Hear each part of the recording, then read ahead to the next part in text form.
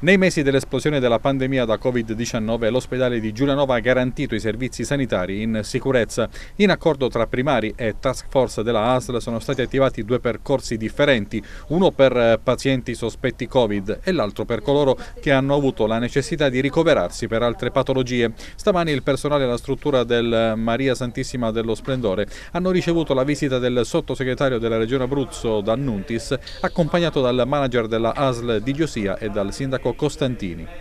In questa fase emergenza tutti si sono comportati bene, a partire dai cittadini che hanno rispettato le disposizioni nazionali e regionali, per poi passare per gli operatori tutti, dal primo all'ultimo, che instancabilmente in questi tre mesi si sono dedicati per eh, la nostra sicurezza. La visita di oggi rientra in un ampio eh, quadro di interventi e di iniziative che la Giunta regionale sta facendo sul territorio, infatti le settimane scorse c'è stata la visita da parte di altri consiglieri regionali e del Presidente Marsiglio ad altre strutture del nostro territorio. Quindi veniamo qui per essere vicini a queste realtà e per ringraziare gli operatori per tutto quello che hanno fatto e che faranno in seguito.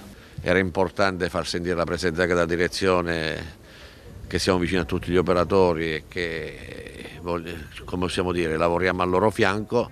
Eh, volevo ringraziare l'ospedale Giulianova che ha dato la possibilità di, eh, nel padiglione est appunto di ricoverare delle persone che dovevano essere attenzionate prima eh, dell'accertamento del, dell'esito del tampone al fine di eh, salvaguardare l'integrità dei presidi ospedalieri da eventuali contagi. Ecco.